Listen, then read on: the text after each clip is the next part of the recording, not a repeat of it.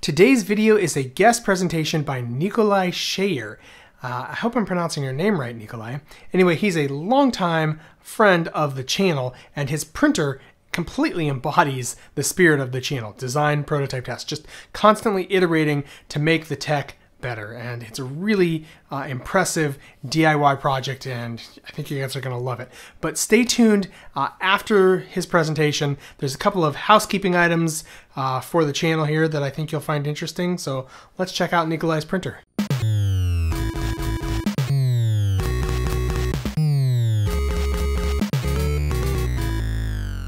Hi there, uh, my name is Nicolai, or uh, Nick, uh, how most people call me. Uh, this is my 3D printer. My Tevo Little Monster. Well, it, it, used to be a Tevo Little Monster. By now, only only the frame is original. this metal bracket, the the spool holder, the power supply enclosure, um,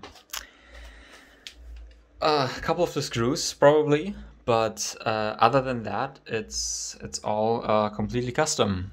That's uh, the PanelDue 7-inch screen. I'm gonna I'm gonna remove that in a in a couple of weeks uh, until I have the the Raspberry Pi, which runs uh, together with the Duet 3 Mini properly set up. It's right now sitting in this enclosure that I designed myself. Something yours if you if you want to use it yourself. The the top cover here is easily removable. well, it's supposed to be easily removable and fits a 140 millimeter fan the duet sits here and as you can see uh, in there underneath the duet there's actually uh, a duct sort of and the, the sides here. Don't know how well you can see that but the, the sides here are uh, they're they're enclosed. Um, so the fan actually sucks in air through those side vents underneath the duet which cools it quite nicely. The Raspberry Pi sits on the back of the touchscreen over here yeah, wiring is kind of messy, but I bet it's the same with your printers. Let's have a look at the printhead. Where do I start? Um, I'm using the, the Duet Smart Effector um, together with the, is it carbon fiber? I'm not sure. Uh, they, they came from Hawaii actually. uh, they're, they're nice. Uh, I can, they're, they're magnetic. I can, I can pop off the, the printhead quite easily. It's great for maintenance. Then there is the Mosquito on there, the Mosquito hot end, and uh, this is a custom part cooling solution here. Well, yeah, no, it is custom. The the bracket I designed myself, again on Thingiverse. Um, I'm using two two brass tubes here where I squeezed the um, the opening a little bit with pliers. PTFE tube, and those is that's aquarium tubing. I don't know. Um, goes up there in a spiral to uh, this air pump here. Um, it's suspended to prevent vibrations, and that's a muffler. Uh, found that on Thingiverse. Great print. Um, I I'll try to find the link, uh, but this actually greatly decreases the noise from the pump, and I'm really happy with the cooling. So this is a print I did a couple hours actually ago, and and all of this is, is bridged actually. So so this was uh, printed like this, um, and yeah, I have no idea how well you can see that, but this is it's pretty good. If if I try, I can I can get my fingernail to um, pick up the, the lowest layer a little bit, but I'm I'm happy with it. I guess that's all that matters. So uh, next up on the printhead, um, we have uh, the extruder mechanism. So this is a, uh, a flex drive extruder. Um, it's quite old. I think I've been using it for almost two years now. Um, works well. Um, retractions and and especially jerk values need to be need to be in the low side. So, oops. Um, so it's uh, it's I can't actually print that fast with it, like especially intricate models where there's a lot of retractions and and sharp corners and stuff like that. And I'm I'm actually working on a on a replacement for that. Um, the top is uh, again designed by myself, the, the gray part, and it was supposed to accept a Duet laser sensor, a laser filament sensor, but I got really inconsistent results, so it's not on there anymore. An interesting detail, uh, the, the drive shaft, which is in this purple sleeve, goes to this motor, um, and as you can see, it is swivel mounted. So as the printer moves, at least up and down or left and right, um, this can follow. and I only realized this like like a week or two ago, but design prototype test, uh, Matthew, he he came up with a really similar mechanism with with a bearing um, and just a friction fit. Um, and uh, I, we we we came up with that in parallel without knowing of each other's idea. So yeah, that's that's funny. Also, I'm using a vibration dampener. I think I got that from a drone actually, and it, it really helps with, with, with noise, with print noise. Oh, by the way, check out check out my cable management. I, I sleeved uh, most of the, the cables. The drive shaft is sleeved. The, the motor cable here is sleeved. I, I tried to keep the, the, the cables as, as tidy as possible, but uh, I didn't I didn't quite manage. Next, I want to tell you about uh, my heated bed. This is using the the Wham Bam magnetic uh, build plate. I'm really happy with it. It's the it's the pack surface. I have no problems with adhesion. Pops off right away. Sitting on a five millimeter thick um, aluminum base plate, to which uh, there's an 800 watt uh, Keenovo silicone heater attached, powered through AC. Here's the wiring um, from up there in the power supply. Uh, next, I want to put some focus on on these guys because I'm actually quite proud of them. Again, that's that's my own design. Um, they are uh, tensioners, obviously, you, know that. Um, and uh, yeah, I, I couldn't find any for the for the Tevo Little Monster, and the existing design was was horrible. There was like um, an aluminum plate on top of here, um, to which the, the, the roller was attached, and you had to force that down with your with your thumb on top, and uh, yeah, not nice. So here uh, you first screw down the base plate, um, then the screw goes up into a nut in there, and you can just tighten the whole assembly by by tightening the screw, and then yeah, you have a nicely tensioned tensioned belt. Those are by the way uh, 9 millimeter uh, Gates belts. Uh, yeah, probably a little bit overkill, but uh, I'd rather have overkill than than uh, uh, floppy belts. Then next, I want to show you what's going on in the in the left pillar. Um, first, there is a 4K um, wide angle webcam. I got them from AliExpress for uh, around 100 euros, and I get a yeah I, I see I see the whole build area actually. I think up until here on the side with with this camera, and I think maybe maybe this high, which is about half of the print volume actually. The print volume on my Tevo Monster is half a meter high, and this is 38 centimeters in diameter. Um, yeah, next to it there's another webcam, uh, which uh, is not wide angle. Um, it's nice for a first layer analysis. Um, and then underneath there are actually some NeoPixel LEDs, um, which I haven't hooked up yet.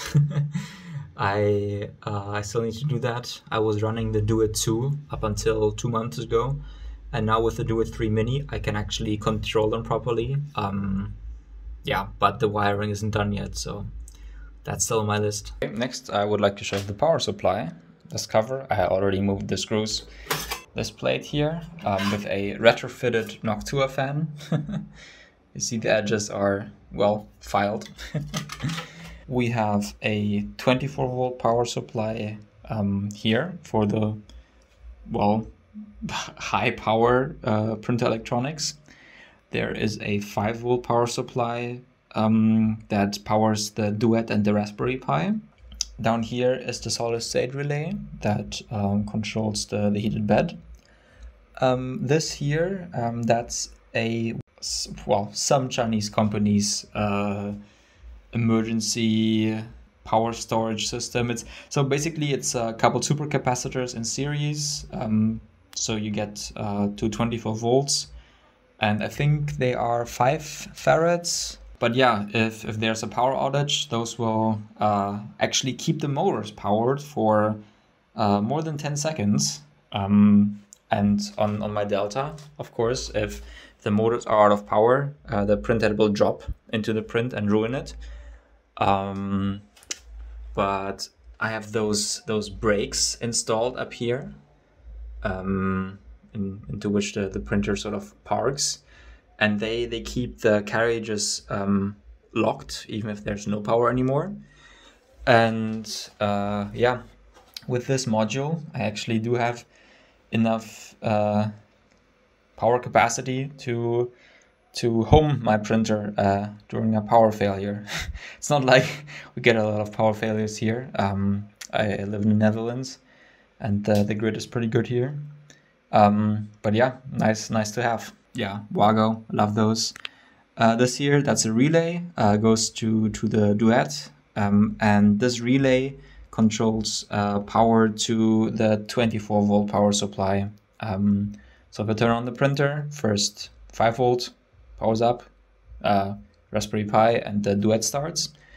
Um, and uh, once they're booted, the 24 power volt uh, power also comes on, and uh, yeah.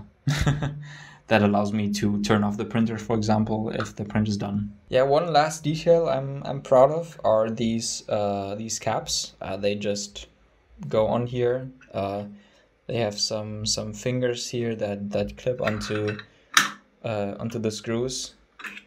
Um, and yeah, so your fingers don't get in there. I mean, you probably won't get hurt, but it looks nice. And this is my logo actually. So uh, yeah, also on Thingiverse for all the people that still run the Little Monster. So I just started a print. I I think my um, my print preparation sequence is interesting, so I would like to share that with you. I hope you can hear me over the noise of the printer.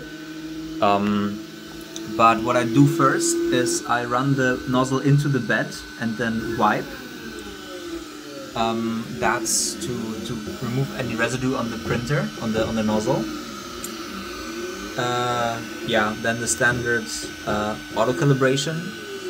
Um, I think for me it's uh, seven points. Then the printer drives the nozzle into the print bed. That is to prevent uh, filament leaking out because uh, all you just saw was actually at 160 degrees, which means the hot end is sort of on temperature already, uh, so is the bed. Um, and only now the fill, uh, the hot end actually is ramping up to the final print temperature. Um, and yeah, that helps really well with reducing uh, blobs or, or smears on the on the print bed um, if, if anything drips out. So the printer is on temperature now. Um, so next it will uh, yeah draw a prime line and start printing.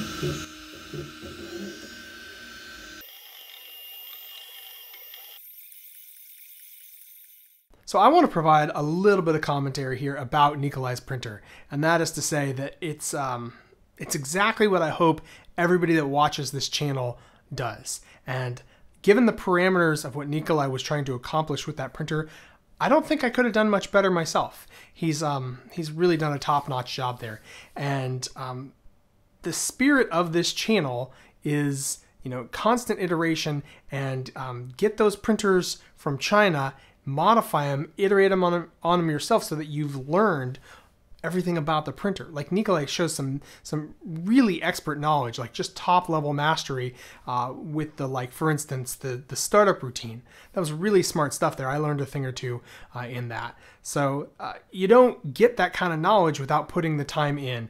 You have to um, you know question why everything on a printer has been put there if it was a mistake by the manufacturer if you can do it better yourself at home and um, this is what i've been trying to kind of convey to everybody watching this channel you guys uh, i'm not standing up here pretending to be an expert just handing you the knowledge i've been trying to always show my process and get you all excited to do your own projects. And Nicolai has has totally answered that call, and I'm really proud of him. So.